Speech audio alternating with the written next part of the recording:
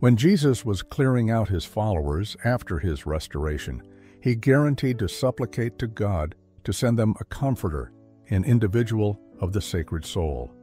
To fulfill this guarantee, the devotees gotten him on the day of Pentecost. But that guarantee wasn't elite to the devotees alone. Each child of God need to be portion of that favoring. Uh, of course, a Christian with the heavenly soul is favored past degree. It goes past fair talking in tongues. Can you review the change, the control, intelligence, and certainty that came over them, and numerous more things that happened within the lives of the followers after they gotten him? But shockingly, numerous Christians in our days are, however, to encounter this. And a tremendous portion of those who claim to have gotten this heavenly soul, fair since they can talk in tongues, are distant from living a changed life. Like 2 in Timothy chapter 3 appropriately said, having a frame of godliness, but they need the control thereof.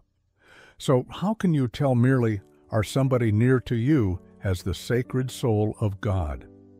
Of course, there are distinctive spirits in this conclusion time. On the off chance that the book of Scriptures can record that the demon can regularly show as the blessed messenger of light, at that point, beyond a reasonable doubt, cherished, numerous individuals parading the Church of God nowadays can be talking in tongues of the fiend and working beneath his soul as well. That is why you should be able to discern a person with the Holy Spirit of God. You don't need to fast and pray to know this over and over again from the days of the Bible. Until now, there has been a consistency in the way of life of those who claim to be filled with the genuine Spirit of God. They've got specific habits. Before we go on, please subscribe to this channel if you are yet to, and ensure you watch to the end, as this is a very powerful message that will change your spiritual life. So, what are the habits of a person genuinely filled with the Holy Spirit? Number one, evidence of the gifts of the Holy Spirit, the presence of the Holy Spirit, influences the manifestation of certain qualities within you. These go a long way toward enabling you to produce His fruits. These are all embedded in Galatians 522 23, which says, But the fruit of the Spirit is love, joy, peace, forbearance, kindness, goodness, faithfulness, gentleness, and self control. Against such things there is no law. Those who belong to Christ Jesus have crucified the flesh with its passions and desires. If your flesh is not crucified, then the Spirit of God can't dwell in you. When you are filled with the Holy Spirit, God's love will always radiate around your life. And it doesn't stop there. This divine love begins to rub off on the people you come in contact with. If you look at love from the human perspective, you might not care about the people around you, the flesh him. You will focus on your desires, not minding what others are going through. More still, you'll find yourself being selective of the people you show love to. But the Holy Spirit enables you to extend sincere love and compassion to everyone, regardless of belief, race, or background. And because your actions are in line with the Spirit, you will find yourself serving and empathizing with others without condition. And as a result, you will become a shining light to your generation. How about faith, joy, and peace amid the storms of life? Faith is compelling yourself to believe what does not exist. The truth is, it takes the grace of God to trust God without physical manifestations. And this trust comes with having the Holy Spirit in your life. He engenders faith that will move mountains in your life. And as you trust in God, you're changed from fear to experience in peace and joy amid chaos. This is not the kind of peace you feel when everything goes as you want. Rather, you'll feel this calmness even when there's trouble around you. You will remain steadfast and confident also, you'll have hope, knowing that God is in control. This peace not only guards your heart, it also comes with joy that is not reliant on circumstances. This joy withstands pain, trials, and sorrow. It also emanates from the conviction that Christ has conquered all, and it goes a long way to draw others to inquire about the source of your peace and joy, thereby drawing them to God. What an amazing lifestyle. But, dear child of God, if this isn't your reality or anyone close to you, perhaps it's a sign you should get close to God and ask for His Spirit. Number two, an unquenchable hunger for the Word of God and His presence, coupled with prayer. We love it. You can't claim to have the Holy Spirit. If you can't remember the last time you had a serious conversation with Him in prayers. Likewise, if you are close to someone who claims to have the Holy Spirit, but lacks a consistent word and prayer life, be careful. When you're filled with the Holy Spirit, He stirs up a strong desire to immerse yourself in the Word of God. When Jesus Christ was speaking to his disciples about the Holy Spirit, he said the Holy Spirit would teach them all things. The Holy Spirit expands your knowledge about the Word of God. As you study, He opens your eyes to deep mysteries in the Scriptures, and as time passes, your witness, your knowledge of God increase daily. He also strengthens your prayer life by guiding you to understand that communion with God is essential. Apostle Paul in Romans 826 says, In the same way, the Spirit helps us in our weakness. We do not know what we ought to pray for, but the Spirit Himself intercedes for us through wordless groans. The Holy Spirit gives you sensitivity to God's leading. He helps you seek guidance and understanding through fervent prayer. Number three, activation of spiritual gifts.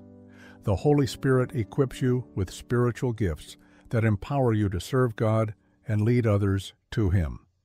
The Bible says in 1 Corinthians 12 4 7, there are different kinds of gifts, but the same Spirit distributes them. There are different kinds of service, but the same Lord. There are different kinds of working, but in all of them and in every one, it is the same God at work. Now to each one, the manifestation of the Spirit is given for the common good. When the Holy Spirit inputs these gifts into you, be it prophecy, healing, teaching, or discernment, you need to have Him active and at work in you to manifest them. But you must know that these gifts are not for your elevation. Rather, they offer the greater good of the body of Christ, thereby magnifying God's glory. Number four, victory over sin. Any man who is living in sin is under bondage.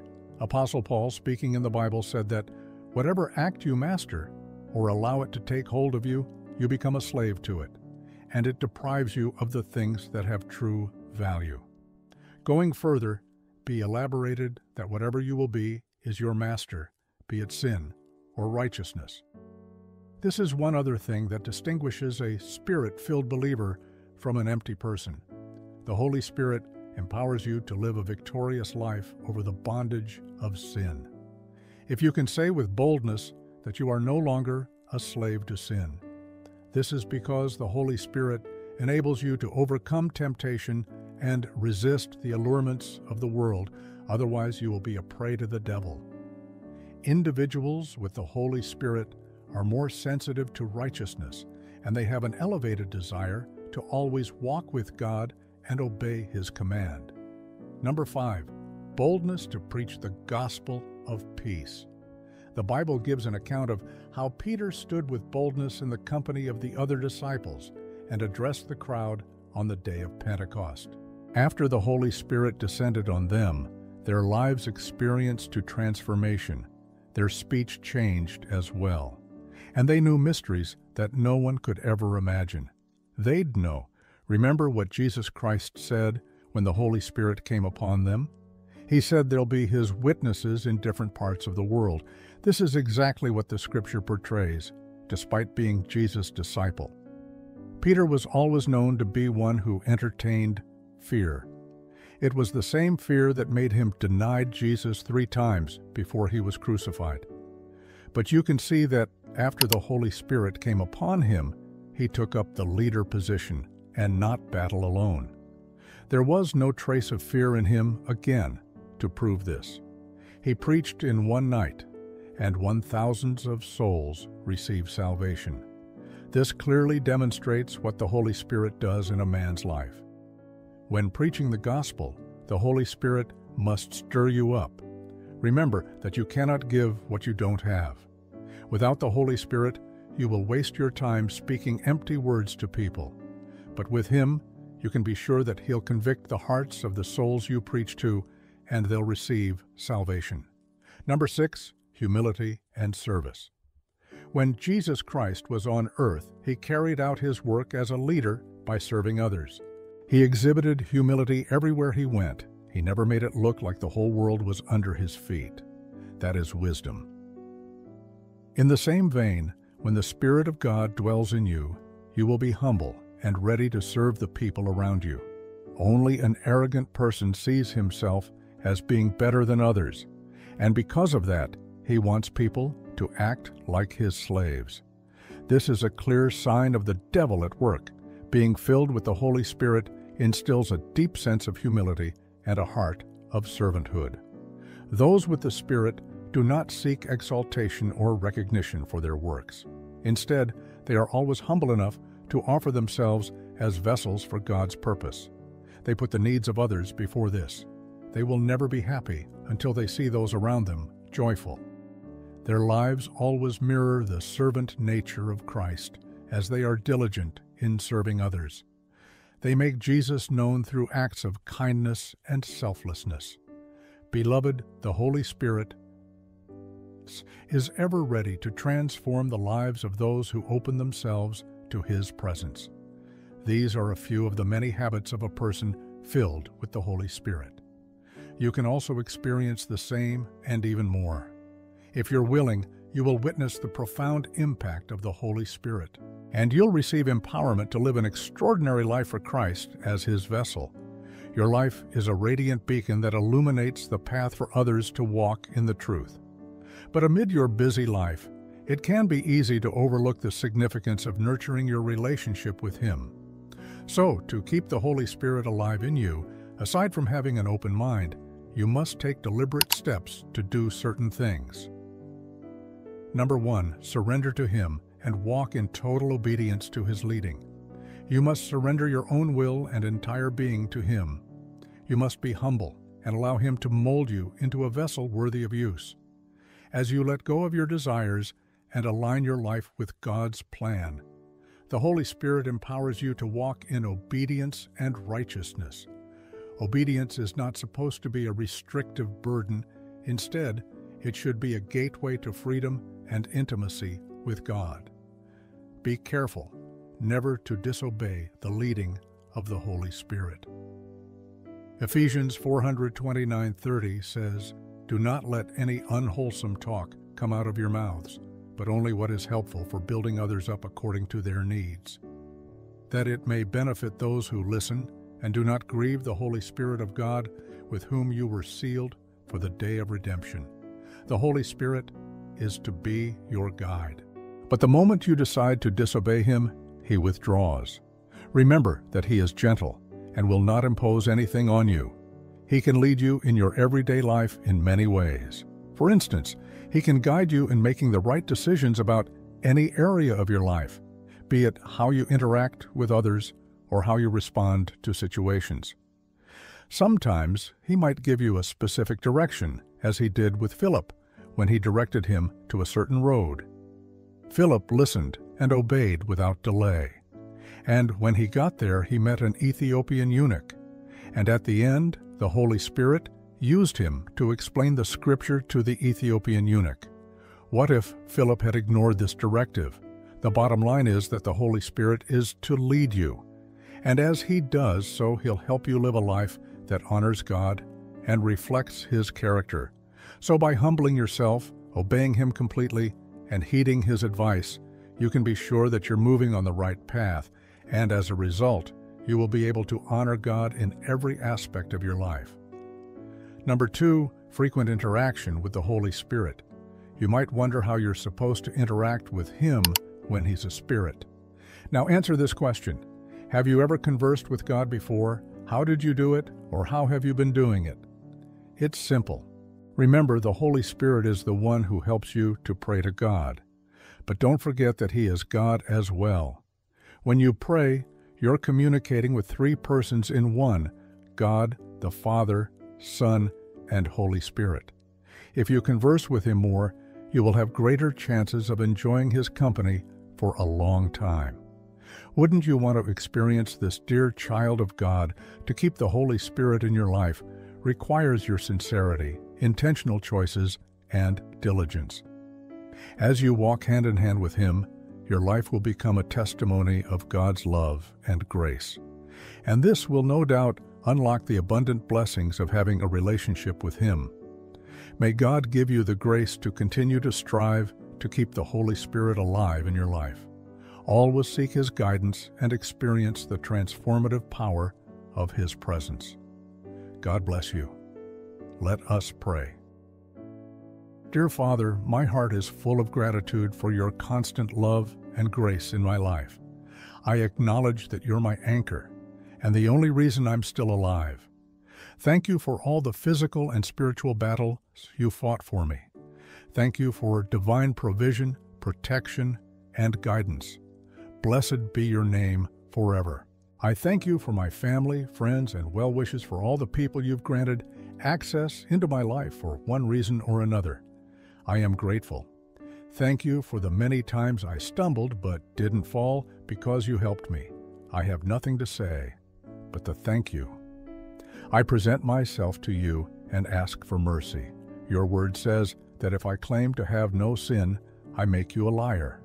Cleanse me of my sins and wash me with your blood. Please purge me of every sinful habit, make me a worthy vessel to the glory of your name. I lay every persistent sin in my life at your feet. Forgive me and give me the grace to sin. No more, ever, righteous God in heaven. I thank you for the gift of the Holy Spirit. Thank you for sending a comforter to me. Your Holy Spirit has been my friend and guide. Thank you for the transformation I've experienced through your Holy Spirit. I pray for fresh unction to walk in the new directions you're set to lead me, to equip and strengthen me for the task ahead. I acknowledge that without you, I am nothing.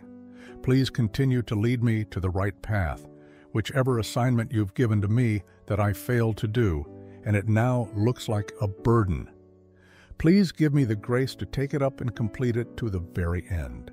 Please open my eyes to the truth of your word, your truth that enlightens. Please let it be the center of my life. In all that I do, help me to focus on you at all times. No matter how difficult it might be for me, may I be willing to sacrifice to the glory of your name. Above all, sweet Holy Spirit, please give me the heart to know when you're leading me. Open my spiritual eyes to understand all you want me to know. Whenever I get tired and fall by the wayside, please pick me up and strengthen me to complete the journey. Whenever I am reluctant to obey your instructions, please forgive me and help me to obey my comfort. Please help me never to grieve you at any point in my life. Let my relationship with you blossom like a tree planted by the riverside. Please do not leave my side. I cannot complete this race without you. You're God's precious gift to me, and I cherish you. Thank you, sweet Holy Spirit, for being my advocate. Amen. If this video has blessed you, don't forget to like, drop a comment, and subscribe.